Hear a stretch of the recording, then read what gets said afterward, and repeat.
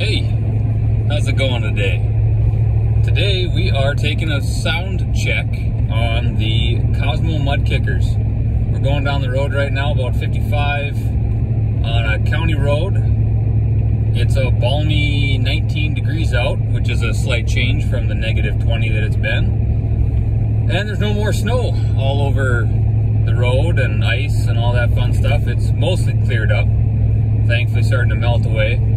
So I took the pickup out and I got a request from someone that asked about how loud are these things on the road. So I'll shut up now and you can listen for yourself.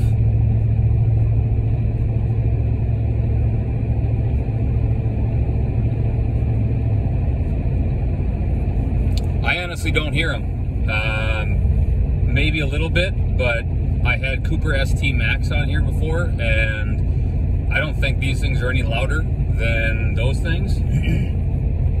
I honestly hear my exhaust more so, and I have a Flowmaster something something American Thunder brand on my pickup. So I think I hear that more than I hear the tires. So they're doing good. Like them. All right, have a good one.